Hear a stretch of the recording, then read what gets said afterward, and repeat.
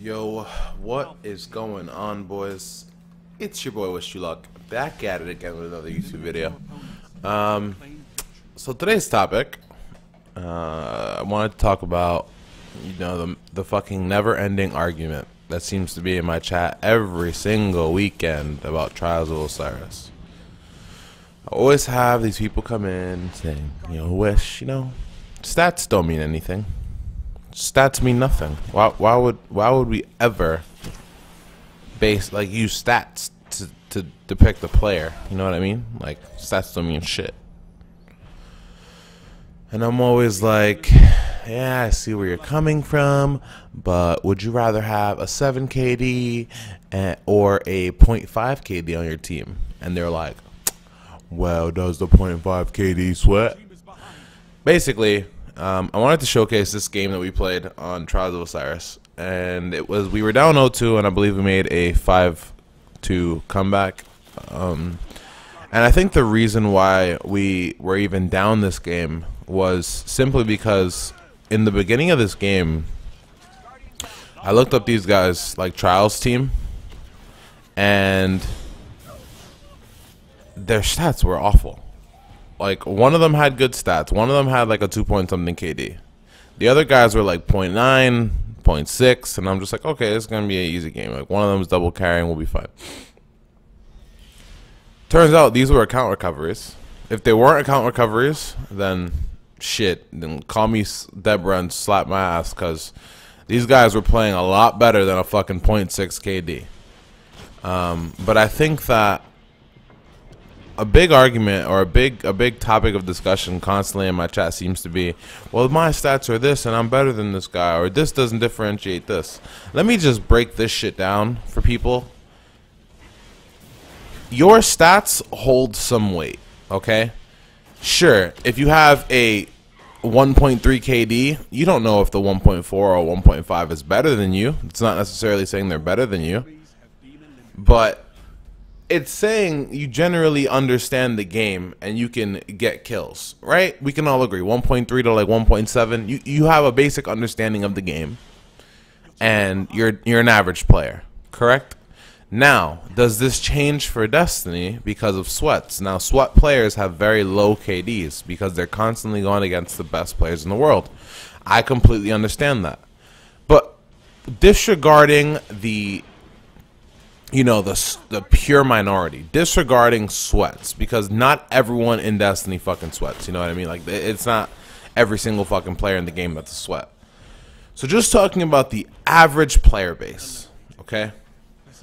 1.3 to 1.7, those guys are average players. If they just play pubs, average players. 2.0 to 3.0, those guys are very good players. They they're they're quick on their they're quick on their fingers. Um, they generally do what they have to do to get the kill, or they play very cheesy. That could also be a way. Stormcaller, Universal Remote, you, you guys get the deal. 3.0 to 4.0, those guys are pub stomps. They they run around in Destiny and just absolutely destroy most of the community. Um, but that's not to take away from their ability because you don't we don't know if we put them against sweats if they'll play well. What I'm trying to get you know, what I'm trying to say here is that if you have a 0.5 KD or a 0.7 KD or even a 0.9 KD, odds are you're not going to be better than the next guy. Just odds are. You know what I'm talking about? But to say like, oh, stats don't mean anything. Stats are the stats have no weight in how good a player is. I think that's complete horseshit. Because even if let's even if we're talking if even if we're talking about the sweats, you guys think that the sweats who have a 0.8 KD in comparison to other sweats who have a 1.5 KD, you think those like those don't mean anything? You think that means absolutely dog shit? That doesn't make any sense you have to always think about KDs and your stats and all that shit relative to what you play.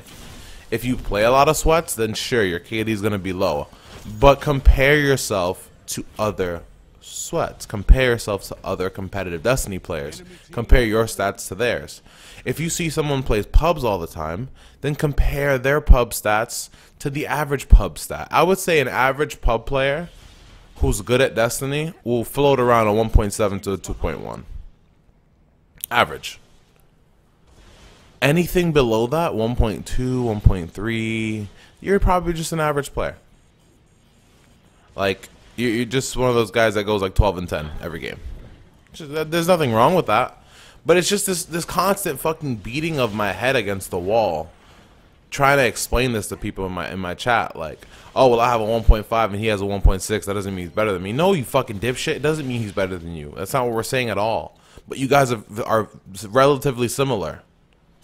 People are always so high so so high on their horse about their stats. Like my stats are better than this guy. This guy's better than that guy. like that's why the, the the the stat command in my channel is literally for subs only.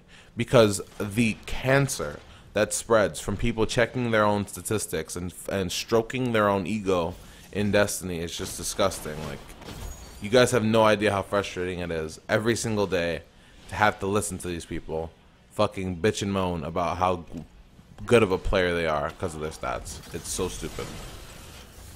Um, anyway, as for this game, well, like I said, we started this game off very, very fucking slow. Um, like we checked their statistics in trials. They didn't seem too good, but um, as we started playing these guys, we realized like, hey, these guys might actually be account recoveries. Wish, what are account recoveries? It's when people pay other people to get on their account and take them to the lighthouse. A lot of people do it. I don't offer it personally. I still believe that those people who do pay me to go to the lighthouse are paying for the experience of playing with me for an hour. Um, and I do like to say, like, you know, they've earned it. If they if they've played all all seven games with me and they get to the lighthouse, they've earned it.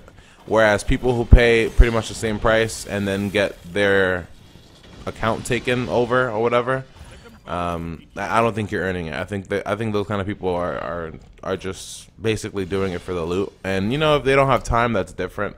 But most people that do it do have the time. They actually watch the streamers play on their accounts to get them flawless. It's very stupid. But um, yeah, we were down three one made a solid comeback. You see it. You saw a really an amazing play by Shaky with his Stormcaller. You saw a really really good clutch by me. Um, I think it was on the three one round. It was a one v three with my tether. Yeah, yeah, fucking sick, fucking sick, dude. Uh, yeah, we're just gonna let this one pan out. Just gonna let this one pan out. Just, just, just wish you luck talking to himself here. Yeah, yeah. wonder what I'm having for breakfast. Uh, might have some oatmeal. Don't forget to leave a like on this video if you enjoyed it. Love you guys. Thanks for watching. It's your boy. Wish you luck. Sign the fuck out. Peace. Another battle won.